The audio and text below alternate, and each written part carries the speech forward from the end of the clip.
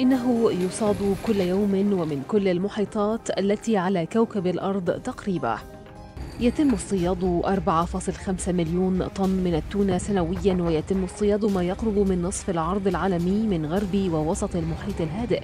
إنها صناعة تقدر بخمسة مليارات دولار سنويا وهي شريان الحياة الاقتصادية لعشرات الدول الجزرية الصغيرة.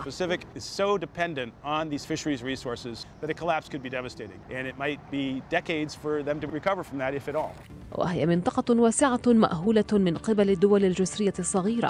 ووفقا للقانون الدولي فإنهم يمتلكون جميع الأسماك التي تقع ضمن نطاق 200 ميل من سواحل.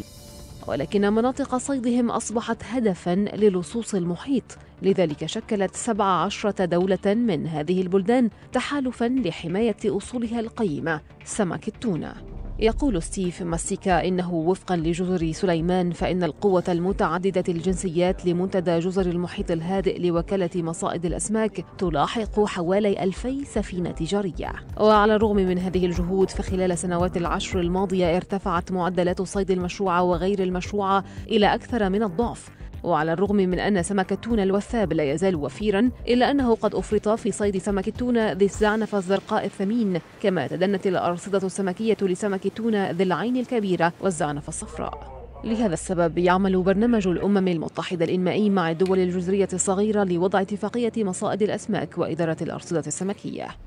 في قرية نور الساحلية التابعة لجزر سليمان تعج وسائل النقل الصباحية بسكان الجزيرة الذين يركبون الحافلة الجماعية المتجهة إلى مصنع سول لمعالجة سمك التونة This cannery is really important to, to the people here, to the lives, to their families, and to the surrounding communities as well.